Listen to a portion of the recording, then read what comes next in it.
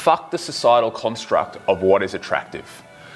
It was only about 10 years ago that the thigh gap, you remember the fucking thigh gap for women? That was what determined whether someone was, hel- was, was attractive. You know, now the thigh gap, fuck the thigh gap, it's hashtag thick thighs. You know, booty. If you don't have a booty, you're fucking unattractive.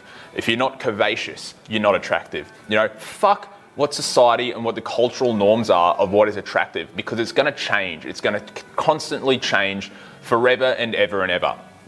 Same with males, you know, in the 1990s, the, the massive bodybuilder look was what was, you know, deemed attractive. Then it went to a more athletic look. And now the fucking dad bod's in, you know, who fucking knows what's going to be next?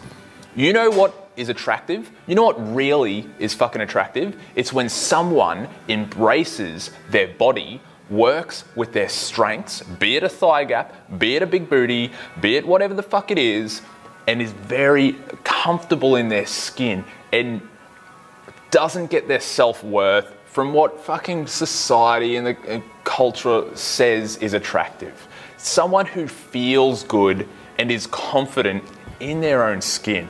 That's fucking attractive. That that's when someone stands out. You know those people that walk into a room, they're fucking standing up straight, they're proud of who they are. They look after themselves, but they might not be, you know, culturally the societal norms of what's attractive.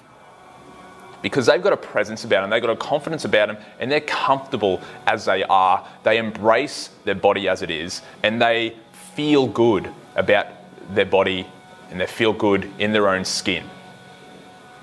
That's what's fucking attractive.